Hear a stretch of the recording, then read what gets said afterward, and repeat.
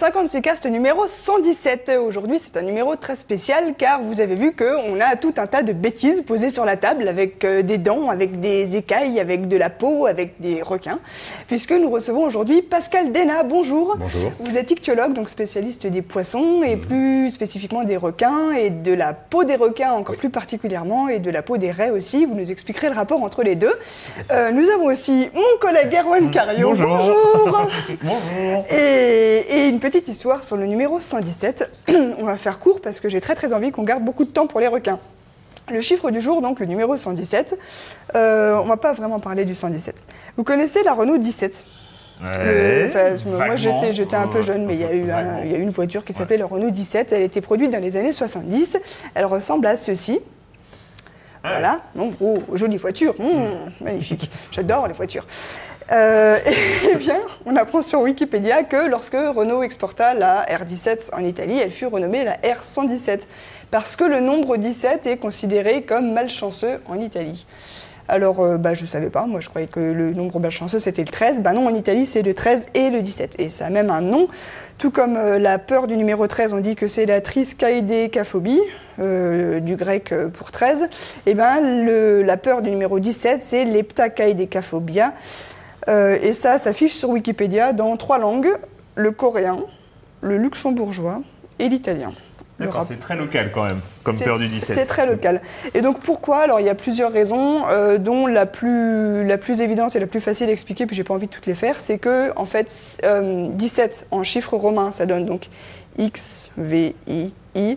C'est un anagramme de Vixi, V-I-X-I, qui en latin veut dire j'ai vécu, mais j'ai vécu dans le sens j'ai vécu, mais c'est terminé, donc je suis mort. Et donc euh, d'où la malchance. Ah ouais, c'est lointain quand même.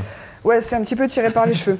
Mais voilà, il y a d'autres raisons qui apparemment renforcent ça. Et donc les Italiens craignent le vendredi 17 comme ils craignent euh, le vendredi 13. Et des fois, le numéro 17 est même supprimé de certains endroits comme, euh, comme le 13.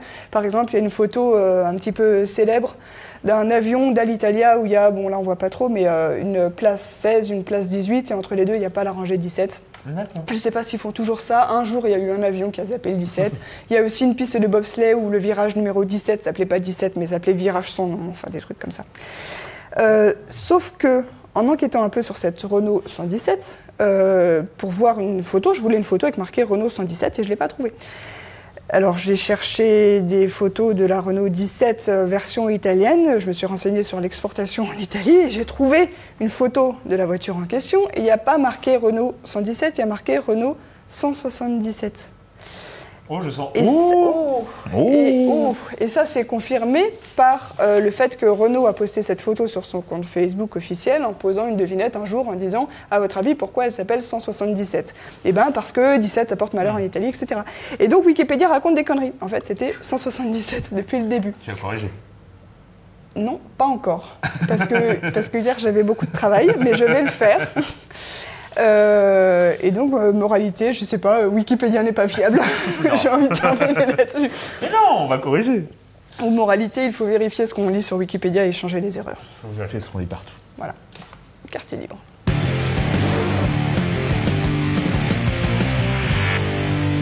Quartier libre avec Pascal Dena. Donc, je rappelle que vous êtes ichtyologiste, donc spécialiste des poissons et des requins et de la peau de requin. Alors, j'ai une transition d'enfer. Ouais. J'ai lu sur Wikipédia.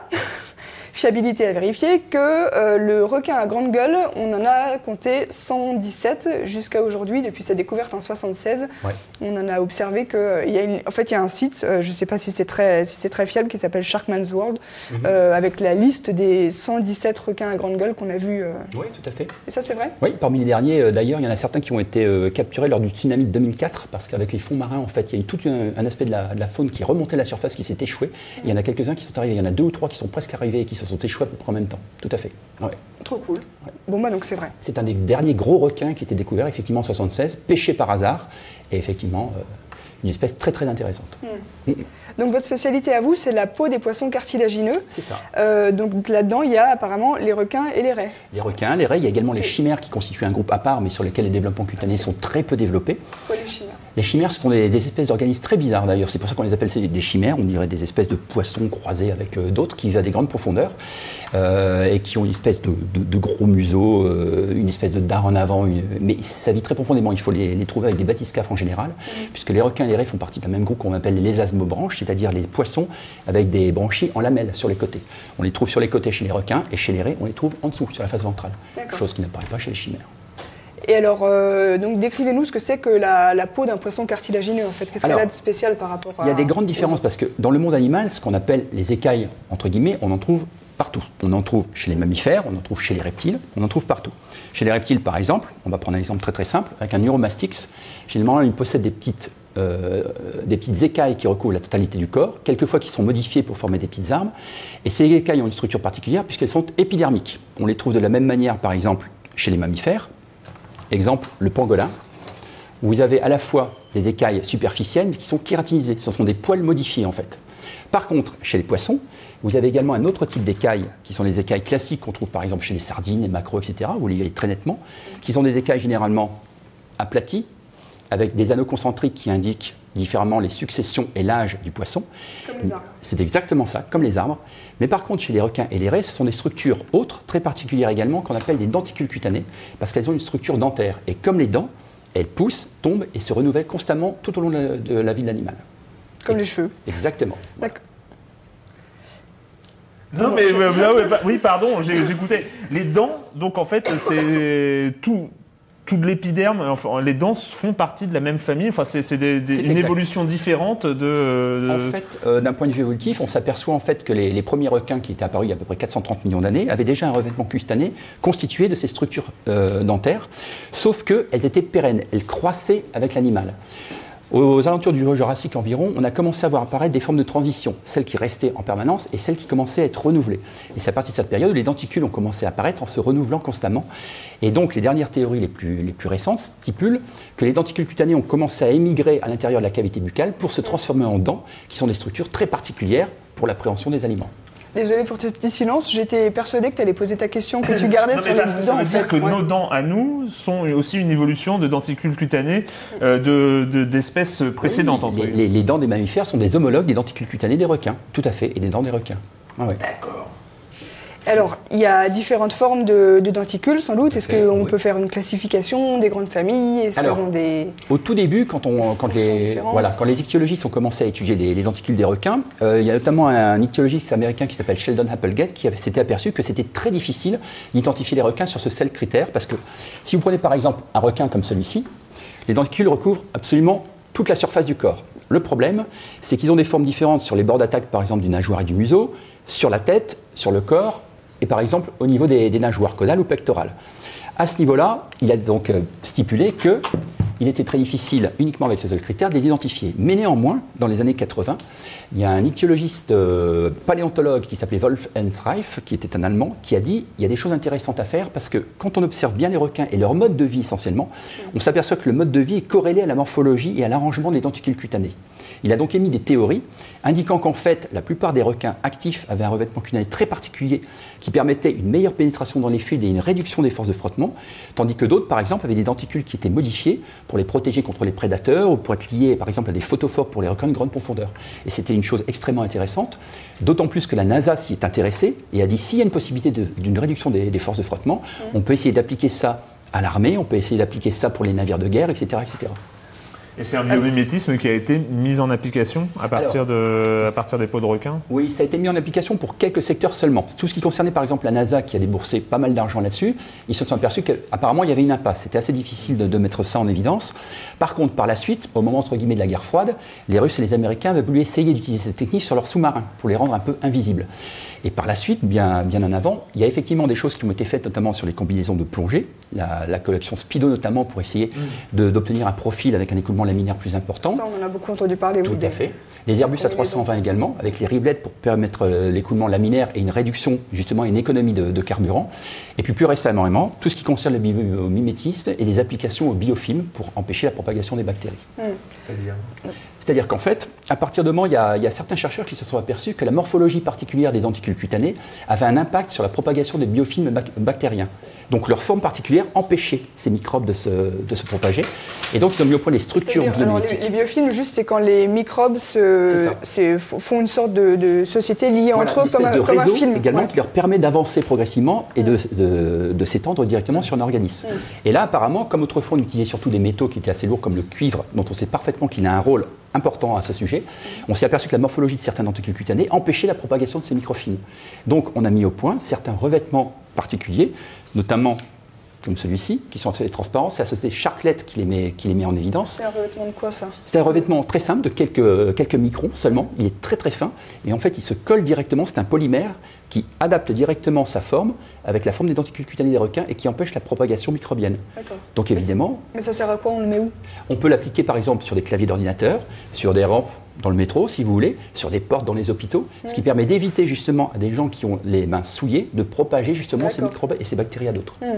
Et ça c'est quelque chose en plein développement. Euh, à propos des barres de métro, justement, il n'y a pas une utilisation euh, soit en biomimétisme, soit directement de la peau de requin comme un antidérapant dans certains Alors, contextes Non, pas dans ce contexte au niveau du métro, mais par contre, autrefois, effectivement, pour les, les- les poignées de sabre de samouraï, c'est ce qui était utilisé, effectivement. La peau des raies qui était euh, employée à l'époque permettait justement au samouraï que sa poignée ne dérape pas au moment du combat. Effectivement, ça, c'est une des applications. Hmm. Un grip en peau de requin. C'est ça. Et qu'est-ce que je voulais dire? Juste pour revenir sur les combinaisons, euh, on en a beaucoup parlé parce que euh, il y a eu cette nouvelle combinaison qui a été, enfin ça a fait, c'était du marketing, hein, euh, pas mal, ouais, Mhm. qui a permis soi-disant de, de réduire la traînée. Euh, quelques records ont été battus à cette époque-là, mais moi j'ai vu qu'il y avait des études qui disaient que ça marchait, d'autres qui disaient que ça marchait pas, qui ont Mhm. essayé de le recréer en laboratoire et ils n'arrivaient pas à avoir de, enfin ça sert à rien finalement. Oui, non, il n'y a pas énormément de- d'applications et surtout de résultats qui sont obtenus là-dessus, parce que déjà à la base, il faudrait que l'être humain ait un corps hydrodynamique et qui soit adapté à l'eau, ce qui n'est pas le cas. Donc le simple fait de nager provoque déjà des flux turbulents qui le ralentissent, et ce n'est pas la- l'ajout d'une combinaison qui va légèrement le faire euh, pénétrer un petit peu plus dans les fluides qui va arranger les choses. Ouais. Mais c'est vrai que du coup, on imagine plus ça, comme vous l'avez évoqué tout à l'heure, euh, pour euh, un avion Oui. qui, lui, a une structure Tout à fait. stable, qui ne bouge pas et va à peu près tout droit dans l'air. C'est euh. Donc, euh, et là, et là, il y a des économies d'énergie, il y a des choses qui sont. Oui, euh, parce qu'on s'est aperçu que ça pouvait aller quand même entre 3 et 5 de- d'économie d'énergie, ce qui n'est quand même pas négligeable pour un, Ah bah, un bah, avion long courrier. hein. Ouais. Oui, oui. D'autant plus que les deux seuls animaux sur lesquels on pouvait se, se fier, c'était d'un côté les requins et de l'autre les dauphins, qui ont à peu près le même système. Sauf que chez les dauphins, il n'y a pas d'écailles, mais c'est la peau qui réagit à chaque instant aux pressions de l'eau et qui réagit en contre-coup pour provoquer également un flux laminaire. Mais les dauphins, c'est trop difficile à étudier. Ah bon pourquoi? Ben, on ne peut pas vraiment appliquer une peau molle et mobile sur un avion ou quelque chose comme ça. Il aurait fallu euh, une Ah espèce oui. de revêtement intelligent, entre guillemets, qui réagisse à chaque instant. C'est pas possible. Il faudrait un avion souple. C'est ça, un avion souple. Un guillemets. avion souple, ça. voilà. C'est ça. Bah voilà. Elon Musk, si tu nous écoutes. Pardon. Alors, vous nous avez amené plein de photos prises au Oui. microscope électronique des denticules en gros plan Oui. Euh, que vous pouvez nous commenter? Oui, parce qu'effectivement, la morphologie des denticules est extrêmement variable et c'est grâce à ça qu'on peut aussi identifier les spécimens quand on n'en a pas beaucoup. Euh, le petit chlamydocellacus que je vous ai montré tout à l'heure, donc cette espèce de, de requin assez étrange qu'on a encore redécouvert il y, a, il y a quelques temps, lui par exemple possède des denticules, si j'arrive, voilà, si on les voit, Une fois. Hop. voilà, ce sont des denticules assez tronqués, euh, très bizarres, qui n'ont absolument aucun rôle hydrodynamique. Par contre, si vous regardez dans une espèce beaucoup plus hydrodynamique, un carcarias par exemple, ou un requin-renard, voilà, par exemple celui-ci, alors là il y a quelque chose d'intéressant parce que vous voyez à l'écran des petites carènes en fait qui sont des espèces de sillons parallèles sur le devant qui permettent justement un écoulement laminaire. Et en plus de ça, vous avez sur le devant cette espèce de relief en, en nid d'abeille qui lui aussi semblerait euh, lié à une réduction des forces de frottement. On ne sait pas encore comment ça agit. Des études ont été faites sur plusieurs espèces de requins, mais il semblerait qu'effectivement à ce niveau-là aussi, ça applique et colle les flux laminaires directement sur le denticule cutané, sachant que chacun d'entre eux recouvre l'autre. Et là, pour l'instant, on ne sait pas encore à quoi ça, ça- sert, mais le, le revêtement cutané avec les, les carènes et les, les carènes et les sillons, ça oui, c'est sûr et certain que ça fonctionne. Voilà, là, on les voit très très bien chez un requin renard notamment. Donc là, c'est des denticules qui ont en plus. Alors, il y a le système de denticules qui se superposent les uns aux autres. C'est ça. Et en plus, ils ont des sillons. euh, C'est ça. Chacun. Ça canalise exactement les, les flots d'eau. Tout à fait. Celle-là qui est en forme de cycle de Batman, si Ouais, je peux me tout à permettre. fait. Alors celle-ci ressemble effectivement au cycle de Batman et c'est celle d'un requin taureau qui est une espèce euh, assez active également. Et donc là on voit très très bien le, le système des carènes et des sillons parallèles qui lui permet donc euh, de pénétrer dans les fuites en économisant son énergie. Parce que je ne veux pas dire que les requins sont des grosses feignasses, mais en général, euh, moins ils dépensent leur énergie, mieux ils se portent. Et ce qui est fascinant, c'est que finalement, tous ces denticules qui ont chacun une forme différente sont tous issus de l'évolution, au, Ouais. sens, au sens large, enfin, de, de- de Darwin. Donc, en fait, ont un rôle, une utilité. Et, et donc, un des, un des défis, c'est finalement de, de découvrir à quoi servent chaque forme de denticule et euh, en fonction de leur endroit sur le requin. Vous nous avez dit que euh, devant l'aileron, c'est pas la même chose que devant, euh, enfin, à tel ou tel endroit. Donc, je pense qu'il doit, y a- enfin, j'ai- je- il doit y avoir une spécialité qui est faite de trouver c'est quoi le rôle en fonction de la forme. Tout à fait. Alors quelquefois, effectivement, il n'y a pas de rôle particulier. Et d'autres fois, il y en a beaucoup. Euh, par exemple, on va prendre un exemple très simple de structure dérivée des denticules cutanés. Ceci, par exemple, bon, on connaît, c'est un rostre de poisson-ci, sauf que ça, c'est un rostre particulier. Il appartient à une espèce qu'on appelle euh, l'Anoxypricis cuspidata. Et ces petites dents rostrales qui sont sur le côté sont également des dérivés de denticules cutanés. La seule différence, c'est que contrairement aux denticules qui sont situés sur la scie, elles ne tombent pas, mais elles se renouvellent et elles poussent par leur base. Donc ça, ce sont des structures qui ont évolué. Et chez les poissons-ci, c'est un organe intéressant puisqu'il leur permet de chasser leur proie. Ils balancent des coups à droite, à gauche, ils blessent les poissons et ils s'en nourrissent. D'autres exemples, par exemple, chez les raies, la plupart du temps, les raies les plus primitives ressemblent beaucoup à des requins, notamment les guitares de mer et autres. Mais par contre, pour les raies les plus évoluées, comme les pastenagues, progressivement le revêtement cutané disparaît ou alors il se spécialise. On a juste quelques tubercules qui apparaissent sur le dos ou sur la région médiane. Et quelquefois, également, vous avez donc à la suite des aiguillons, qui sont également des structures qui dérivent des denticules, sauf que celles-ci peuvent être également remplacées directement quand elles tombent par d'autres. Et là, vous avez un système de dentines qui pousse, qui les fait croître et remplacer automatiquement. Et ah, ça a une fonction particulière, puisque c'est une fonction défensive, puisque la plupart du temps, elles se reconvertent par un tissu venimeux qui les aide à se protéger contre les prédateurs ou contre leurs congénères directement. C'est placé où sur son corps, ça? C'est placé légèrement. Alors celle-ci a été enlevée, mais elle est située au niveau de la queue. Et quand elle est dérangée, ça se redresse un petit peu comme la queue d'un scorpion et elle pique en avant directement.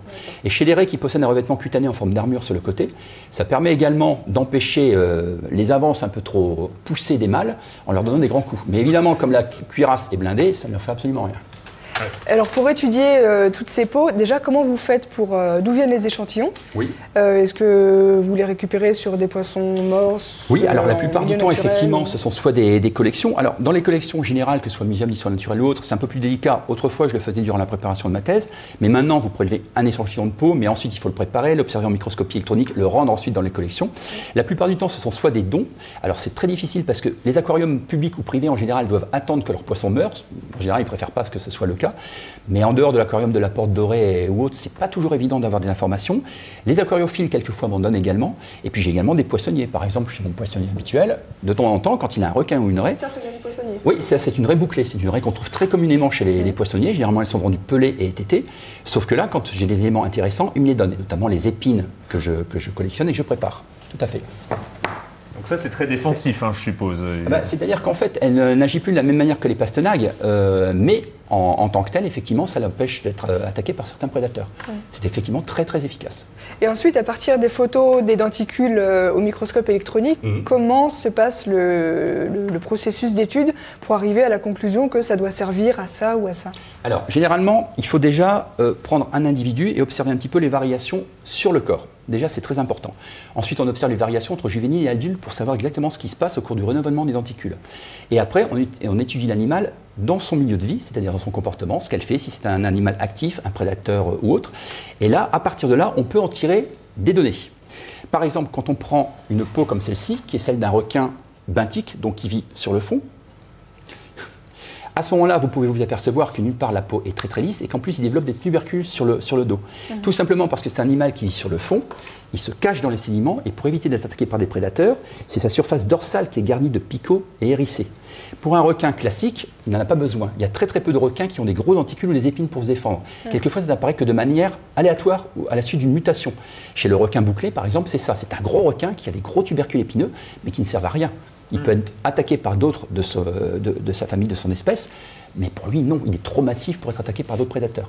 Donc en fait, on essaie de voir un petit peu ce qu'il en est, de trouver des applications et ensuite d'utiliser ces caractéristiques pour l'identification, voire des applications à l'échelle humaine. Mais c'est quand même pas évident. Vous nous parliez tout à l'heure de, de- de ces films antibactériens. Ouais. comment est-ce qu'on découvre que quelque chose qui est a priori fabriqué soit pour la défense, soit pour la fluidité euh, dans, dans, dans l'eau, peut aussi servir de protection antibactérienne. C'est- pas intuitif. Enfin, Mais ça, ça a été fait par hasard, justement. Ah oui. Quand on voit un petit peu ce qui s'est passé, c'est que le, le, le docteur Green, qui s'était inspiré de, de ça, s'est aperçu que sur la coque de certains bateaux, il y avait des grosses carènes sur le côté, il y avait beaucoup moins d'algues qui s'accrochaient. Il s'est demandé ce qui s'était passé. Donc, il a voulu étudier s'il y avait un aspect euh, purement morphologique, c'est-à-dire les carènes empêchaient peut-être la propagation de quelque chose. Il a commencé à s'intéresser à ça et il s'est aperçu qu'en fait, dans le monde animal, il y avait d'autres espèces qui pouvaient avoir des carènes. On en observe partout. Les tortues ont des grosses carènes sur leur carapace, par exemple, qui leur permettent également de nager plus facilement. Et progressivement, il a commencé à étudier les animaux. Il s'est aperçu que sur les requins, il y avait ce genre de système qui avait été développé, les fameuses études sur la NASA notamment. Il a dit pourquoi pas? Donc il a fait des essais avec plusieurs euh, peaux de poissons, peaux de requins, et il s'est aperçu que c'était chez les requins où c'était le plus efficace. Donc là, c'était effectivement un petit peu par hasard. C'est un peu ce qu'on appelle la sérendipité, où on découvre par hasard quelque chose, et c'est comme ça que c'est arrivé. Et donc là, en ce moment, c'est en plein développement.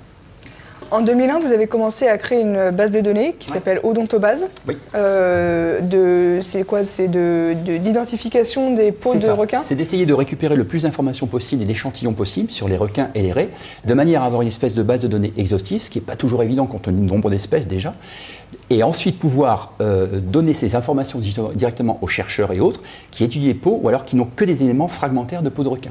Ça m'est déjà arrivé par exemple au Musée d'histoire naturelle de Londres, où j'avais un collègue qui avait juste un spécimen une- de, de- de peau de requin. Il ne savait pas ce que c'était, il était en train de chercher, je l'ai regardé, je lui ai fait non, ça c'est un requin lézard, il a ça, ça, ça. Si vous regardez au microscope, vous allez voir ça. Il a regardé et il l'a vu. C'est-à-dire qu'en quelques minutes, je peux identifier un animal pour lequel il faudrait beaucoup plus de recherche. Et ça, c'est extrêmement intéressant. C'est une base de données basée sur quoi? C'est des, photos en, euh, Photo au en microscope? électronique, analyse générale, etc. etc. Oui, tout à fait. Tout à Ok. fait. Et c'est visible en ligne euh, Pour l'instant, je suis en train de travailler là-dessus continuellement, mais progressivement, je mets ça euh, à la disposition, effectivement, sur les sites internet, sur le site de chaque ré- référence ou autre. euh, oui, oui, tout à fait. Parce que j'imagine bien un gros site avec le, le- la base de données publique euh, Ah oui, oui, mais ça pourrait être le cas. mondiale, internationale et intergalactique. Oui, des- pourquoi des- pas. Peut-être que si Dark. Vador nous voit d'où il est. Enfin, j'aimerais bien, bien fouiller dedans en tout cas. Oui, oui. Mais il y a déjà des, des chercheurs qui, travaillant sur un groupe particulier, ont mis pas mal de photos en microscopie électronique, ce qui me permet moi aussi de voir un petit peu les variations, d'utiliser ces données, et puis ensuite d'utiliser ces morceaux de peau.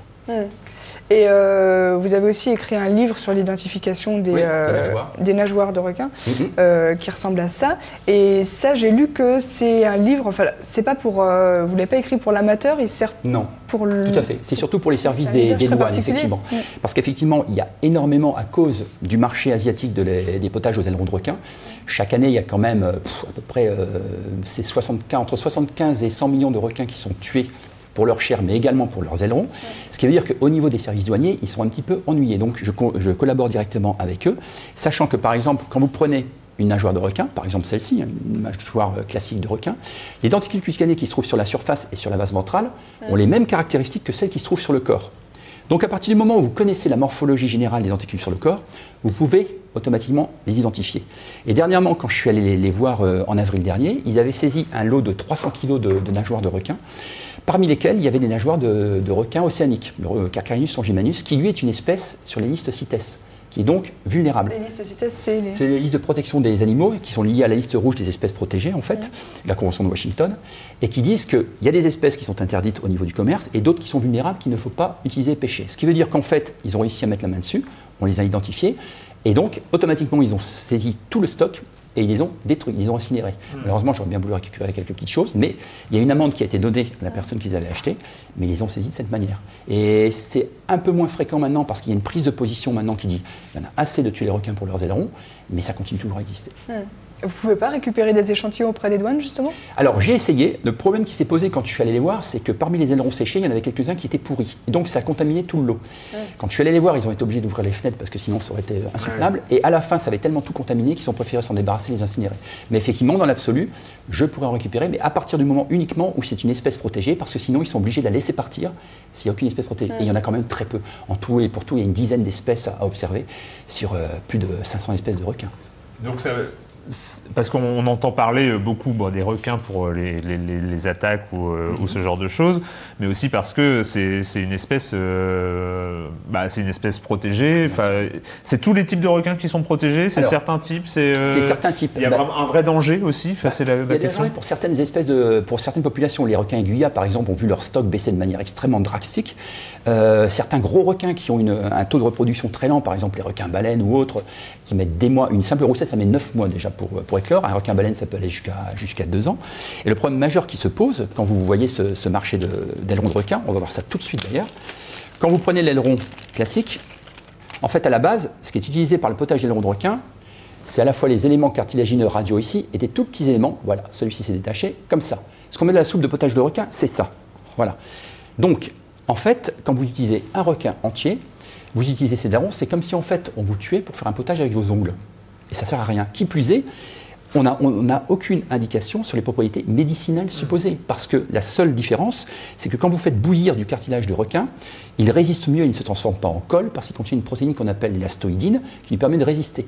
Et le potage en question n'est qu'un potage de poulet ou de champignons avec des filaments cartilagineux. C'est rien d'autre. Il n'y a aucune vertu médicinale là-dedans. Rien du tout.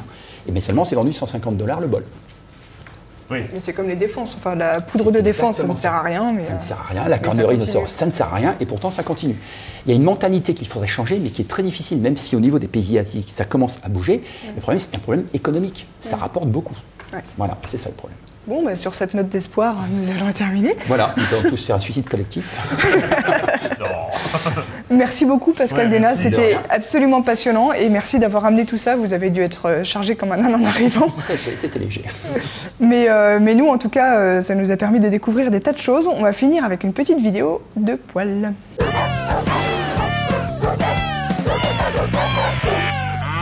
J'ai cherché une vidéo de requin mignon, je n'en ai pas trouvé. Par contre, j'ai trouvé une vidéo de loutre. Euh, elle cartonne sur Twitter depuis qu'elle a été postée il y a quelques jours. Elle n'avait pas de crédit. J'ai été la rechercher sur YouTube, je l'ai trouvée. En fait, elle date du 24 décembre 2016 et, et, et c'est celle-ci.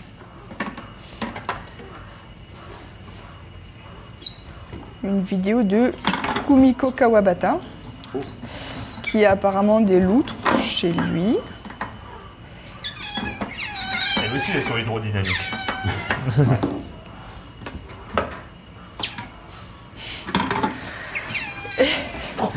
Et elle recommence, et elle recommence, et elle recommence.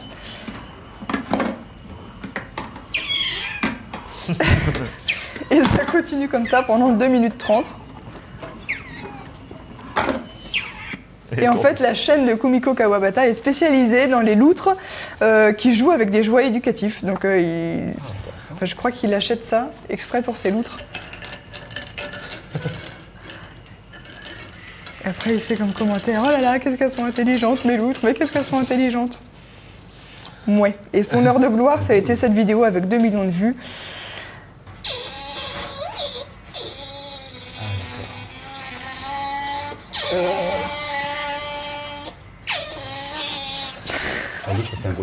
Des millions d'années d'évolution pour arriver à ça.